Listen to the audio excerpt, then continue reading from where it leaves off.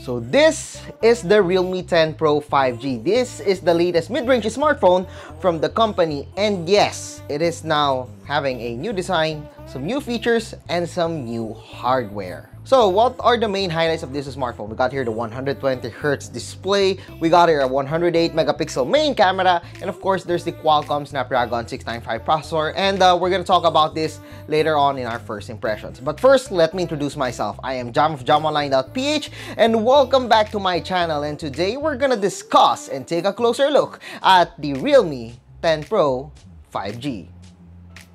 So there's the Realme 10 Pro 5G.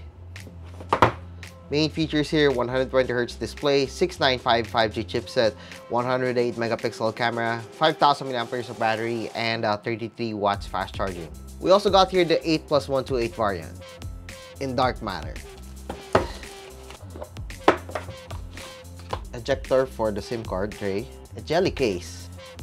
Look at that, I do love the look of the Realme 10 Pro 5G in here. The 33 watts charger, and of course the USB-A to USB-C cable. Now it's time to set this one up and let's see what's inside the smartphone.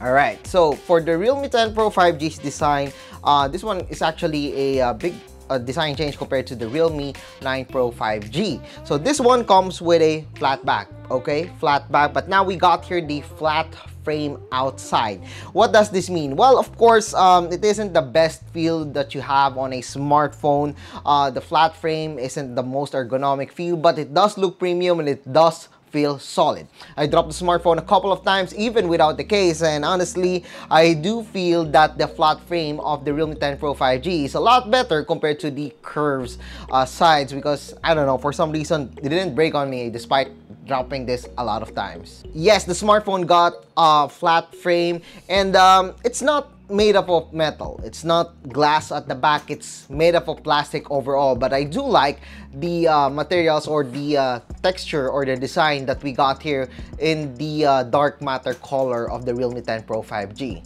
It does have a cleaner look compared to the previous generation and honestly looking at it, looking from the back of the smartphone, it does look premium, does look uh, you know really nice with those two circular uh, cameras at the back and uh, you see that? That reflection at the back of the smartphone. But of course, I still highly suggest that you use a jelly case whenever you're using the smartphone. On the right of the smartphone, we got here the fingerprint scanner and also the volume rocker. And uh, yeah, it is quite reachable. I do not have any problems with it. The fingerprint scanner is fast and honestly, I still prefer having a um, fingerprint scanner on the home button or the power button of the smartphone or power button rather, um, instead of, you know, having an in-display fingerprint scanner because it's it feels more natural whenever you're using the fingerprint scanner on the power button of the smartphone. Below is the USB Type-C and along with that is the speaker grill and also the headphone jack. Yes, this also means that the smartphone does support your wired um, earphones despite having a lot of wireless earphones that are already cheap in the market. But yeah, it's still nice that we got here a wired um, speaker or wired headphone support with the 3.5mm headphone jack. It's a welcome feature, especially that uh, there are still some people who prefer having a wired earphones versus uh, a wireless one because you know they they are afraid that they might lose their TWS earbuds or um, whatever wireless earbuds that they have. And that USB-C port, it supports 33 watts charging on the smartphone. It isn't the fastest, especially on a Realme smartphone. There are way faster chargers out there, but 33 watts is like the minimum for me. Um, and it charges quite fast. And as for the battery, we got here the 5000 mAh of battery. And uh, this is still the first impressions, but so far, I'm still quite happy with the battery that we're getting on the smartphone. Now, for one of the highlights of the Realme 10 Pro series. So for the display, we got here the 6.72-inch display. It's an LCD display, it's a Full HD Plus display, and it comes with a 120 Hz refresh rate. What I like about it is that we got here a pretty small bezels on the side. So as you can see in here, there's really thin bezels on the side. That's 1.15 millimeters on the side. There we go. And a 4.2 millimeters on the chin of the smartphone. Honestly, having an LCD display isn't the most ideal uh, displayed on its even for its uh, range for the Pro series. I was actually expecting that we can get here an AMOLED display with at least 90 Hz refresh rate. But yeah, we got here 120 Hz refresh rate with um, an LCD display. It's quite disappointing for me that they didn't use an, L, uh, an OLED display. I still prefer having an OLED display. I mean, a lot of applications and games doesn't support more than 60 hertz uh, refresh rate on an LCD display, but here we are. The colors are still nice. It isn't an OLED level, but it's nice. The brightness is also nice, even if you're using the smartphone outside. So yeah, overall usage, uh, if you're not really heavily into the display, it isn't a problem for you. But if you like looking at aesthetics, at the thin bezels of the smartphone, you would definitely appreciate the thin bezels on the Realme 10 Pro 5G. Now for the performance, the smartphone comes with a Qualcomm Snapdragon 695 processor and also a um, up to 16 gigs of RAM. That's an 8 gigs of RAM with an 8 gigs of extended RAM. So yeah, just let's just use the 8 gigs. For the storage, it's quite spacious at 256 gigs of internal storage. So the Realme 10 Pro 5G's 8 gigs of RAM, well, that's the standard. 8 gigs of RAM is already fine with me. It's a welcome upgrade that we got here, an extended RAM, another 8 gigs extended RAM on the smartphone. So yeah, I, I quite like it.